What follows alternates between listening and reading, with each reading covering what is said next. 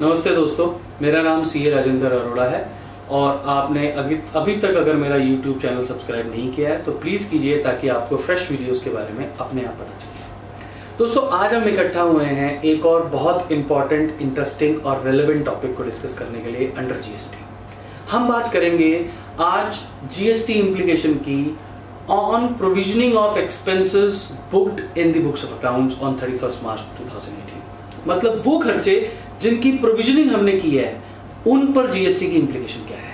सबसे पहले हमें जानना ज़रूरी है कि हमने ये प्रोविजनिंग क्यों की। दूसरा सवाल, कि हमने ये प्रोविजनिंग कैसे की? पहला सवाल प्रोविजनिंग क्यों की? क्योंकि हमें अकाउंटिंग स्टैंडर्ड 29 को कंप्लाई करना है और अपने फाइनेंशियल स्टेटमेंट्स में इंश्योर करना है कि वो true and fair view express करें। इसलिए हमने प्रोविजनिंग की। कैसे की? तीन बातें पूरी हुई तो हमने किसी भी एक्सपेंस की प्रोविजनिंग की पहले।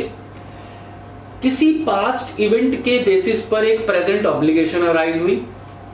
उस प्रेजेंट ऑब्लिगेशन को डिस्चार्ज करने के लिए एक रिसोर्सेस का आउटफ्लो होना है।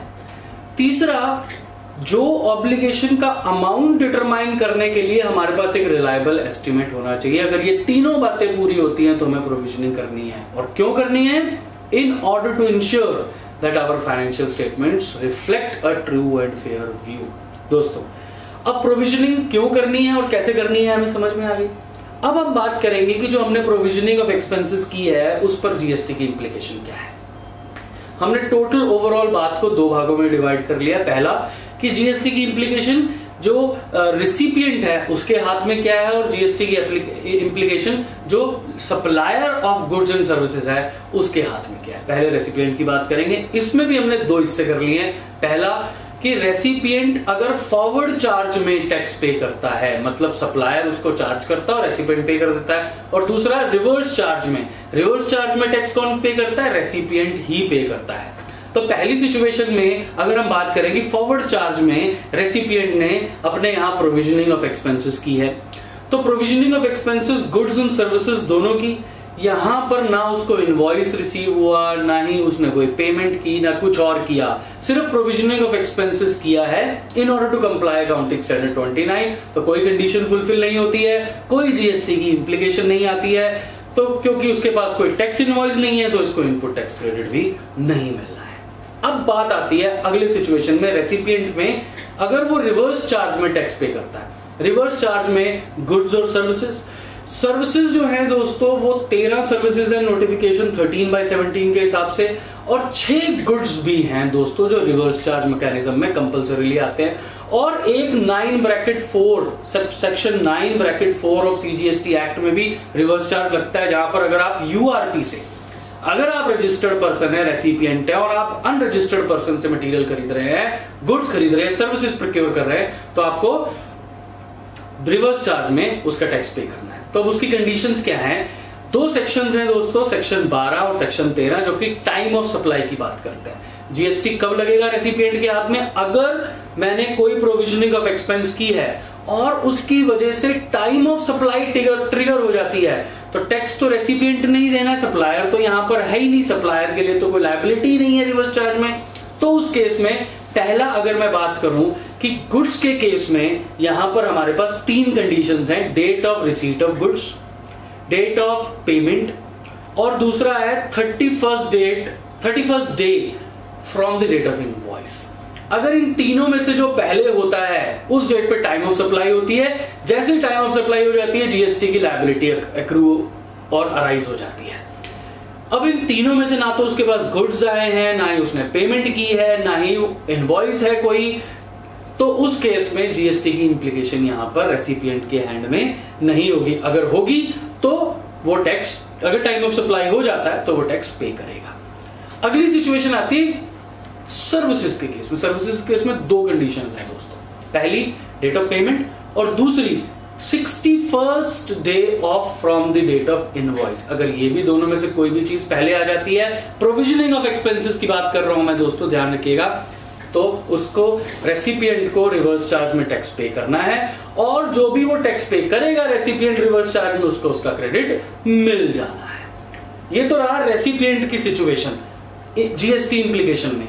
अब सप्लायर पर क्या जीएसटी इंप्लीकेशन आती है? प्रोविजनिंग ऑफ़ एक्सपेंसेस जो कि रेसिपिएंट ने अपने किताबों में बुक किए हैं, उसकी जीएसटी इंप्लीकेशन सप्लायर के ऊपर। हालाँकि आप कहेंगे भी जब सप्लायर ने बिल ही नहीं किया, कुछ किया ही नहीं उसने तो उसकी जीएसटी की इंप्लीकेशन क्यों है? लेकिन फिर भी हमें समझने की ज़रूरत है। दोस्तों, एक इंपॉर्टेंट पॉइंट यहाँ पर हम बात कर रहे हैं सप्लायर ऑफ़ सर्विसेज़ की। दोस्तों supplier of services supply of services के केस में सप्लायर के हाथ में टाइम ऑफ़ सप्लाई कब होता है? तीन कंडीशंस हैं। इन तीनों में से जो अर्लीस्ट है टाइम ऑफ़ सप्लाई हो जाता है। पहला, आपने डेट ऑफ़ इनवॉइस क्या है? दूसरा date of receipt of payment और performance of provision of service दोनों में से जो अर्लियर है, वो दूसरी सिचुएशन है। पहला क्या है? डेट ऑफ़ इनवॉइस दूसरी क्या है?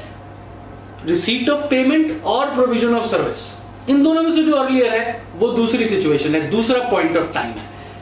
तीसरा ए बी और सी तीसरा जो है, वो ये कहता है कि अगर ए और बी अप्लाई नहीं हो पा रहे हैं तो तीसरा लगेगा। तीसरा कब लगे, क्या लगेगा?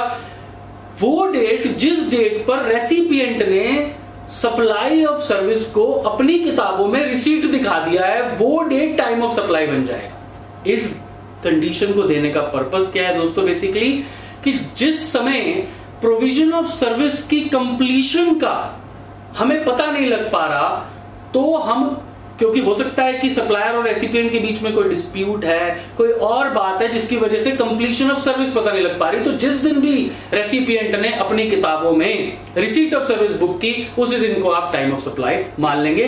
कब? जब ए और बी नहीं लगते हैं तो ये सी है।